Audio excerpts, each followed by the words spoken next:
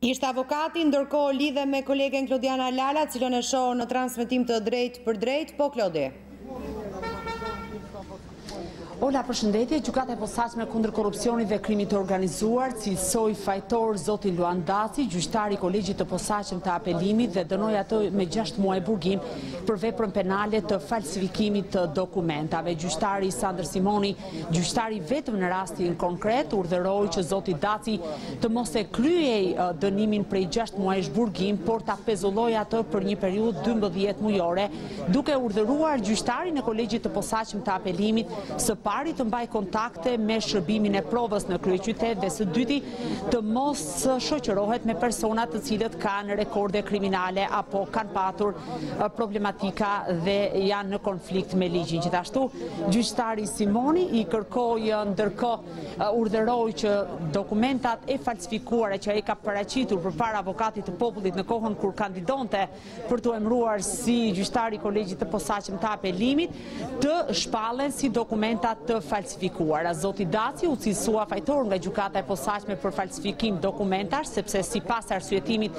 që bëri gjyqtari zoti Simoni, ai rezulton që përpara avokatit të popullit kur aplikoi për t'u bërë pjesë e Kolegjit të Posaçëm të Apelimit, ka paraqitur të dhëna të rreme dhe konkretisht nuk ka deklaruar faktin që në nëntëdhjetë e shtatë është shkarkuar nga detyra e gjyqtarit për shkelje të rënda dhe për paaftësi në detyrë, përtej kësaj, tha zoti Simoni, Luan Daci edhe përpara komisionit ad hoc në Kuvendin e Shqipërisë kur është pyetur specifikisht se për cilat arsye ishte larguar nga detyra e gjyqtarit, ai nuk ka deklaruar faktin që është larguar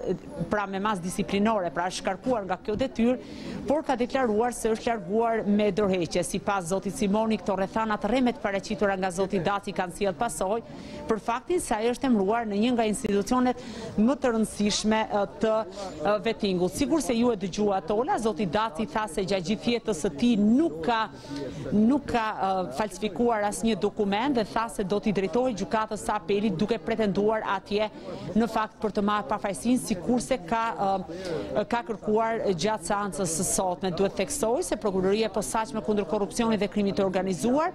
kër i kërkoi gjykatës cilësimin fajtor të zotit Daci dhe dënimin e tij me një vit burgim për momentin gjykata e shkallës së parë e ka thënë tashmë fjalën e saj pritet që çështja Sikurse paralajmëruan dhe avokatët të shkojnë në Gjykatën e Apelit, deri atëherë, zoti Daci do të qëndrojë i pezulluar nga detyra për sa kohë që në momentin kur u mor i pandehur zyrtarisht Kolegji i Posaçëm i Apelimit që funksionon si një dhomë e posaçme pranë Gjykatës Kushtetuese, pra sepse të gjithë anëtarët e KPA-së kanë statusin e gjyqtarit kushtetues, u mblodhën dhe vendosën ta pezullojnë zotin Daci derisa drejtësia të thotë të fjalën e saj.